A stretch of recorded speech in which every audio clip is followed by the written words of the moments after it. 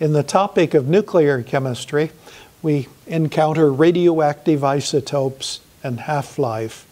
A radioactive isotope is, is unstable, uh, to some degree at least. It's a little bit like uh, if you have uh, someone stand up on a tabletop. You know eventually something's going to happen. Eventually they're going to fall. We may not know when, but, but sometime they're going to fall. Here's a graph that may help understand uh, radioactive isotopes a little bit. If I start with a particular amount of material up here on this axis, the vertical axis, as and the horizontal axis is time, with time, this radioactive isotope disintegrates, it decays into something else, it gives off radiation, and so the amount of material that we had originally is decreasing with time. And as we follow this curve out here, it's a little tough to predict the lifetime of this radioactive isotope because we have smaller and smaller amounts. And are we uh, there yet? Have we reached the lifetime or do we have 10 atoms left? It's really hard to predict. But from the graph, I can get some information uh, very precisely, and that is the half-life. I can find the point at which half of the material has disintegrated and, uh, and the time associated with that. That's called the half-life. Half-life is time for half, the time for half of the atoms in a sample to decay. And it's sort of a measure of the stability of the radioactive isotope. Some isotopes are, are so stable that they have an exceedingly long half-life. For example, potassium-40 has a half-life of 1.3 times 10 to the ninth years. Now that means that maybe every thousand years or so an atom disintegrates and gives off some radiation, breaks down into something else.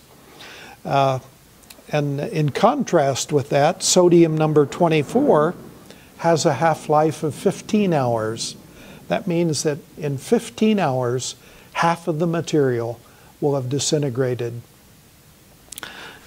If, uh, let me grab a pencil here, or a pen in this case, uh, pretend that this is a piece of chalk. And uh, I'm going to use this piece of chalk on the board.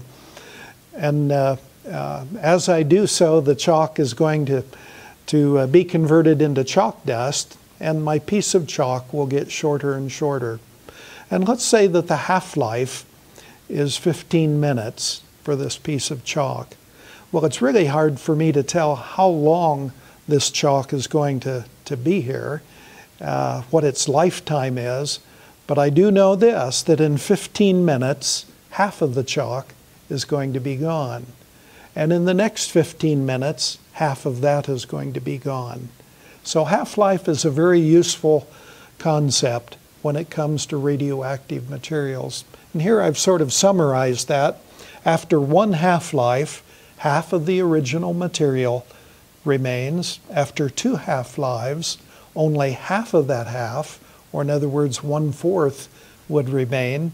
After three half-lives, one-eighth, after four half-lives, 1 16th, then 1 32nd, 1 64th, and so forth. Let's work a typical problem using the concept of half-life. Lead 194 has a half-life of 11 minutes. What fraction remains after 44 minutes? Well, 44 minutes is four half-lives, and uh, after uh, one half life, we'd have one half of the material. I'm sorry, after one half life, we'd have one half of the original material. After two half lives, a fourth. After three, one eighth. And after four half lives, one sixteenth. One sixteenth of the original material would be there after 44 minutes. Let's look at another problem. This problem involves germanium 66. Uh, when we put the 66 after the name of an element like this, it, it means that this upper case number is what we're designating. Germanium is element number 32. Its half life is 2.5 hours. Here's the problem.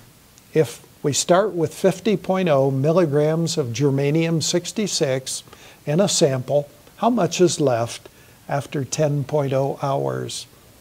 Well, using the concept of half life, I see that 10 hours is four half lives. 4 times 2.5 would give us 10 hours. So four half lives have occurred. Only 1 16th of the sample would remain.